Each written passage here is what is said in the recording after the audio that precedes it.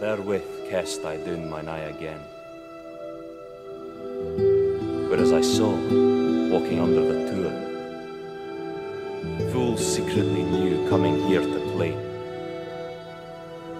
The fairest or the freshest young flower that ever I saw methought, before that hour.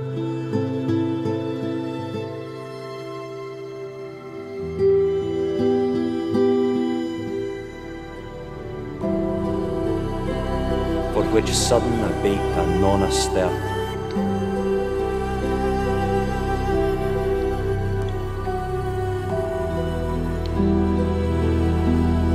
The blood of all my body to my heart.